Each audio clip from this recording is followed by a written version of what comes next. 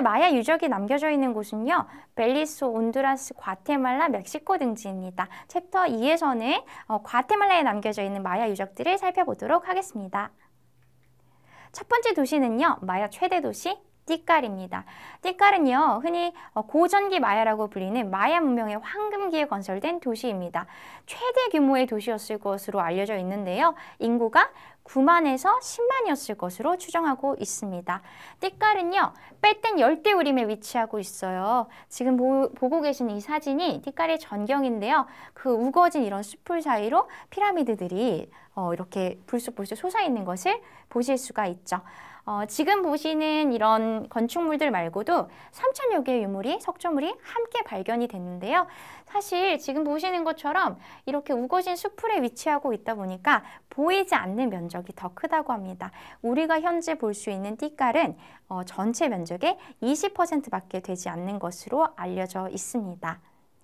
그리고 현재 발굴된 띠깔, 이 고대 도시의 모습은요. 6개의 신전과 광장, 그리고 아크로폴리스라고 불리는 생활 공간, 그리고 구기장 등으로 구성이 되어 있습니다. 지금 보시는 사진은 띠깔의 제1신전의 모습이에요. 그리고 신전 앞으로는 그 중앙 광장이 위치하고 있습니다. 이 광장에 마야인들이 모여서 제사도 지내고 그리고 뭐 회의도 하고 그런 모습이 아니었을까요? 광장의 한 켠인데요. 비석들이 여러 개 세워져 있는 것을 볼 수 있어요. 하지만 지금 보고 계신 이 비석 들의 모습은 온전한 형태가 아닙니다. 부서지거나 일부가 유실된 것들을 보실 수가 있는데 마야 시대에는요. 두 나라가 전쟁을 하면 승전국이 패전국의 비석을 부수는 문화가 있었습니다. 그래서 유적에 따라서 비석이 많이 발견되는 경우도 있고 그렇지 않은 경우도 있습니다. 구기장의 모습입니다. 공놀이, 공놀이는요. 마야인들이 즐겼던 유일한 오락이자 스포츠였는데요. 어, 그 도시의 규모에 따라서 구기장의 규모에도 차이를 보였습니다. 하지만 형태에 있어서는 이렇게 I자의 모양, 공통적인 특징을 보이는데요. 어, 선수들이 경기를 치렀던 이런 잔디 구장 옆에는 양 옆으로 축대가 있습니다. 그리고 이 축대를 자세히 들여다보면 골대가 보이죠. 이 골대를 이 골대에 공을 통과시키는 룰을 가지고 있 었는데 손과 발은 사용하지 않고 신체 일부분만을 사용했다고 합니다. 이 공놀이는요 단순한 오락의 기능보다는 오락의 기능도 있었지만 음, 그 경기를 치르는 양 팀이 밝음과 어둠 팀으로 나뉘어져서 이 승패 결과에 따라서 앞으로 다가올 미래를 예측하는 예측하는 그런 기능도 했다고 합니다.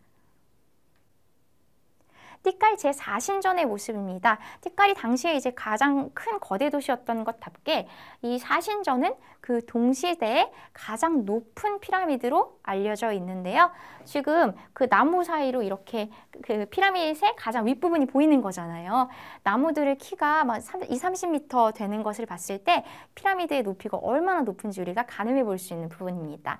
제4신전, 제4신전의 높이는 약 70m 정도 되는데요. 여기 자세히 보면 은 사람들이 앉아 있는 것을 볼 수 있어요. 관광객들에게도 개방이 되어 있습니다. 이 피라미드 뒤쪽으로 안전하게 올라가 볼 수 있도록 계단, 통, 계단 통로가 마련되어 있는데요. 어, 마야 시대 때 마야의 왕은 이 가파른 계단을 그대로 타고 올라가서 이 백성들을 내려다봤겠죠. 마야 피라미드들의 특징을 좀 살펴보도록 하겠습니다. 지금 이제 앞서서 보신 신전들이 마야의 피라미드인 거죠. 물론 시대에 따라서 이 마야 피라미드들도 그 건축술에 있어서 차이를 보입니다. 이 마야 고전기 때 건설이 되었던 피라미드들의 공통적인 특징을 좀 살펴보도록 하겠습니다. 기능적인 면에서는요. 신전으로 보는 것이 통설이지만 몇몇 피라미드에서는 그 분묘가 발견이 되기도 했고요. 크기 또한 마야 피라미드의 특징으로 삼을 수가 있는데요. 사실 마야 피라미드들은 그 피라미드 하면 생각나는 이집트의 것들과 비교했을 때는 크기가 참 작습니다. 아담합니다. 왜냐하면 마야, 마야는 도시국가의 형태를 띠고 있었기 때문이에요. 오롯이 인력에 의해서 이 돌들을 쌓아 나갔기 때문에 뭐 인구가 최대 10만이었던 이런 도시국가의 어, 마야, 마야의 도시국가들에서는 어, 아주 거대한 규모의 피라미드를 가질 수가 건설할 수가 없었던 거죠. 어, 마야에서 가장 높은 피라미드는 사실 그 이전까지는 띠깔의 제4신전으로 알려져 있었습니다. 하지만 2000년대에 들어서 어, 이 빼땐 열대 우림 지역에 라단타라고 하는 고대 도시가 발견이 됩니다. 아주 거대한 도시로 예측이 되고 있는데요. 음, 여기 지금 우리가 라단타 일부를 보고 있는 거예요. 어, 아주 높은 피라미드는 보이지만 그 옆에 주변에는 아무것도 보이지 않잖아요. 수풀 말고는 약 6만 개의 유물, 석조물들이 어, 묻혀 있을 것으로 매장되어 있을 것으로 어, 연구 결과를 내놓고 있습니다. 그 도시의 규모답게 이 라단타의 메인 신전 피라미드의 높이도 72m 이상이 될 것으로 추정하고 있습니다. 이 열대 빼뗀 열대 우림 지역은요 여의도의 거의 10배가 되는 규모예요. 그래서 정말 무궁무진하게 앞으로는 또 새로운 고대 도시가 발견될 수도 있지 않을까요?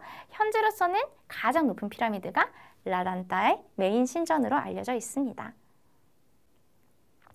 또 다른 특징입니다. 어, 피라미드들이 신전과 crestería를 가지고 있었던 것이 특징입니다. 이 가장 피라미드의 가장 윗부분을 말하는 건데요. 이 빨간 동그라미 부분을 말하는 건데요. 신전은 바로 이 문이 있는 이 왕의 공간이고요. 크레스테리아는 이 신전 위쪽으로 어, 일종의 장식으로 볼 수 있어요. 그리고 이 크레스테리아 이 윗부분에는 주로 신들의 모습이 조각이 되어 있었습니다. 이 건축술에서도 마야인들이 가지고 있었던 어떤 세계관을 엿볼 수가 있는데요.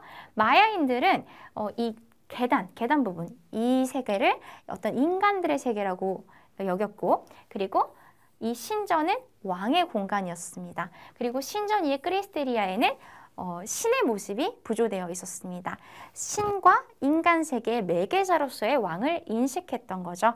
지금 어, 피라미드의 형태에 따라서 높이 규모에 따라서 조금씩 다르긴 하지만 어, 마야 고전기 때 발견되는 피라미드들의 공통적인 건축 양식의 특징입니다. 두 번째 도시입니다. 두 번째 도시는 끼리고아인데요. 끼리고아는 모타과 강 유역에 위치하고 있어요. 그래서 강 유역에 위치하고 있다는 이 지리적인 이점을 가지고 무역 도시로 번영했습니다. 어, 지리적인 이점도 있었지만 사실 이 강 유역에서 채취되는 흑요석 그리고 어, 옥은 상당한 그 어떤 가치를 가졌습니다.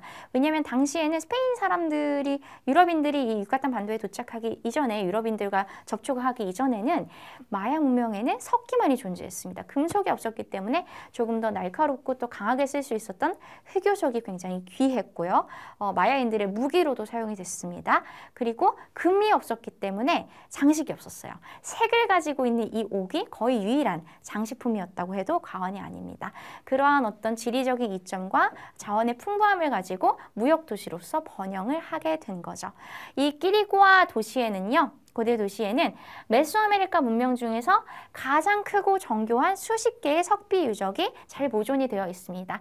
지금 여기 작게 보이시는데 서 있는 비석의 형태 그리고 눕혀져 있는 큰 바위의 형태까지 30여 개의 이런 그 비석들이 자, 어, 발견이 되었습니다. 그리고 이러한 비석들에는 당시의 중요한 역사적 사건들을 상형 문자로 기록을 해 두었는데요. 조금 이따가 조금 더 확대해서 보여드리도록 할게요. 또 여기 돌을 보시면 색깔이 좀 독특하다, 붉은색을 띈다라고 하는 것을 보실 수 있을 거예요. 어, 이제 기타 다른 도시에서 발견된 이 비석들이 어, 석회암으로 만들어졌다면 어, 여기 끼리고아에 있는 비석들은 각 유역의 사암을 활용해서 만들어졌습니다.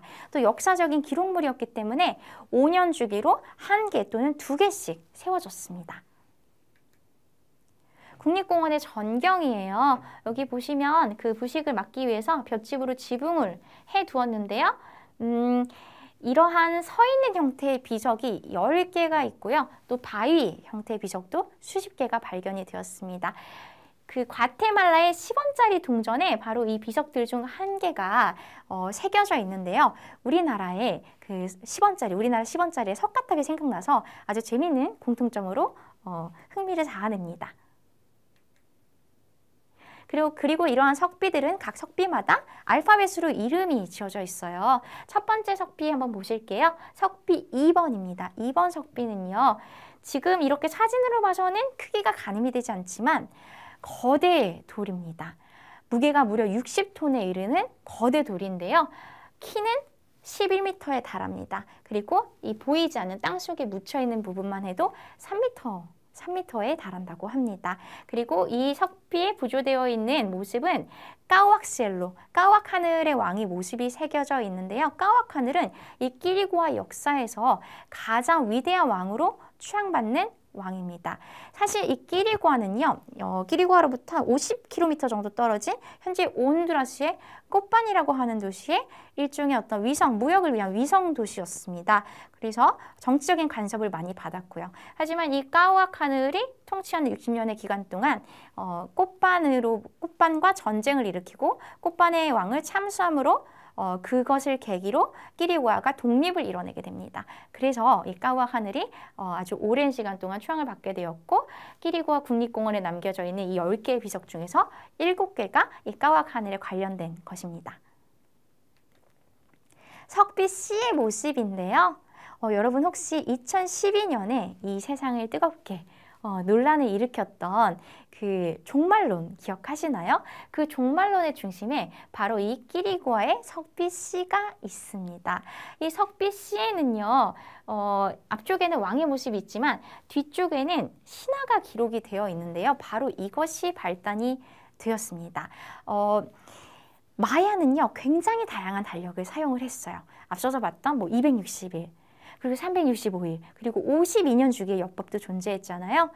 최장 주기력은 5125년 주기력까지 존재했습니다. 바로 이 석비에 새겨진 내용입니다. 이 석비에 새겨진 내용은요.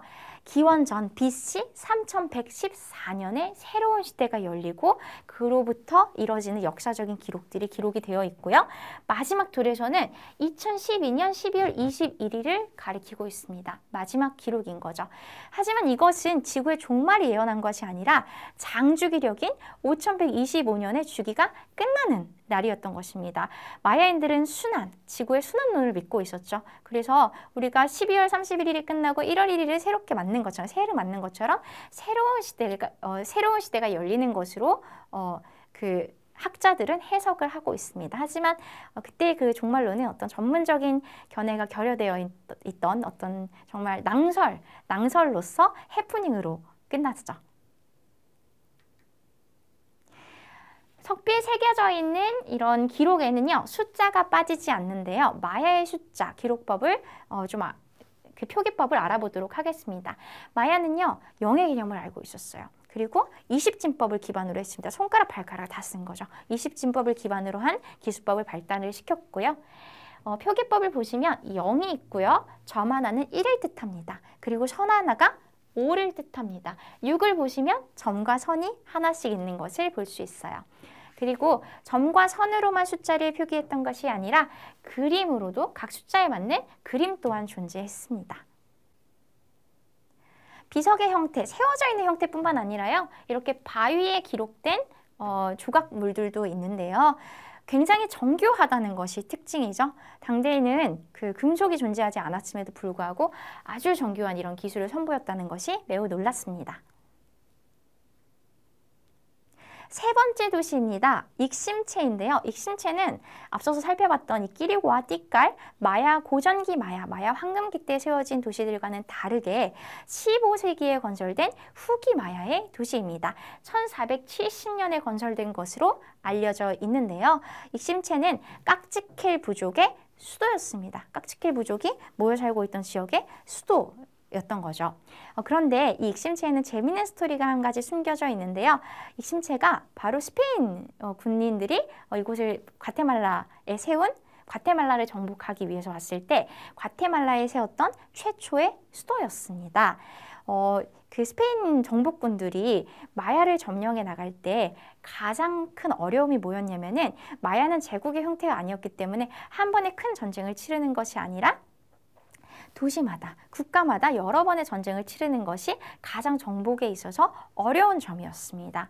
그랬기 때문에 이 스페인 군이 선택한 묘략은요. 어, 대립관계에 있는 어떤 라이벌 구도에 있는 두 부족 중에서 한 부족과 동맹을 맺으면서 서로 어떤 조력을 주고받는 관계가 되면서 이제 나머지 한 어, 부족을 정복하는 그런 묘략을 쓰고 있었는데요. 당시에 깍지케 부족과 끼치 부족은 라이벌 관계였습니다. 그래서 어, 이 스페인군과 깍지킬 부족은 동맹을 맺음으로 해서 깍지킬 부족의 도움으로 스페인군이 끼치 부족을 정복하게 됩니다. 어, 그렇지만 뭔가 일종의 스페인군의 배신인 거죠. 스페인군들은 결국에는 깍지켈 부족도 굴복하게 만들었고 깍지킬 부족의 수도였던 익심체에 자신들의 수도, 자신들의 과테말라 왕국의 첫 수도 산티아고 대 과테말라를 세우게 됩니다. 이에 배신감을 느꼈던 이 깍지킬 부족 사람들은 어, 군사들을 매복시킨 거예요, 익심체에. 하지만 그, 그 스페인 어, 군대를 침략하려고 한 거죠. 하지만 이 스페인 군대는 그 계략이 어, 실, 그 계략이 실행되기도 전에 그 사실을 알아버려요. 그래서 익심체를 불태워버리고 새로운 수도를 찾아 떠나게 됩니다. 물론 이 기간이 너무 짧았기 때문에 한 달 남짓한 기간이었기 때문에 어떤 역사적으로는 어, 익심체가 어, 과테말라의 첫 수도라고 인정을 받고 있지 못하지만 아주 엄밀한 의미에서는 어, 첫 번째 과테말라 왕국의 수도가 수도로서 볼 수도 있습니다. 또한 익심체에서 발견되는 이런 건축물들은요, 어, 역시 시대가 많이 흐른 만큼 달라진 어떤 건축 기법을 보이는데요. 벽돌과 석회 반죽을 사용할 줄 알았던 마야 건, 건축술의 특징을 잘 드러내고 있습니다. 좀 더 크게 보도록 할게요. 어, 전반적인 이런 풍경이 높은 그런 건축물이었고 단조로운 것을 볼 수 있습니다. 여기 보시면 벽돌들이 이렇게 일렬로 잘 쌓여져 있고 그리고 회반죽, 이제 시멘트, 시멘트를 얹고 그리고 또다시 벽돌을 쌓아 올리는 이런 정갈한 모습에 앞서서 봤던 이런 그 피라미드 같은 경우에는 거대한 돌로서 이렇게 돌을 쌓아 올렸잖아요. 하지만 조금 더 정갈한 모습의 이런 건축수를 볼 수 있습니다. 이곳은 이심체의 신전의 모습이에요. 우리 앞서 봤던 것들과는 다르게 조금 신전이 높지 않은 것을 볼 수 있는데요. 어, 마야 후기로 갈수록 이 마야 부족들은 고원지대를 삶의 터전으로 선택을 하게 됩니다. 그래서 익심체가 위치하고 있는 곳이 해발 2200 2260m의 고원지대예요. 그랬기 때문에 어떤 높은 건축물을 쌓음으로 해서 어, 방어를 위한 높은 건축물을 쌓을 필요가 없었기 때문에 어, 이렇게 건축의 디자인에도 영향을 미쳤다고 알려져 있습니다. 오늘날의 익심체의 모습인데요. 익심체는요. 깍지킬 부족의 성지로 여겨집니다. 깍지킬 부족은 아직도 이 과테말라에서 40만 이상 이 깍지킬 부족의 언어를 사용하고 있는 후예들로 알려져 있습니다. 그래서 아직까지 또 그 명맥을 이어나가고 있는 깍지케 부족이 어떤 재래 행사, 종교적인 행사, 중요한 날이 있을 때마다 이곳을 찾아서 이러한 신성한 어떤 의례를 치른다고 합니다. 깍지케 부족의 성지로 알려져 있는 곳입니다.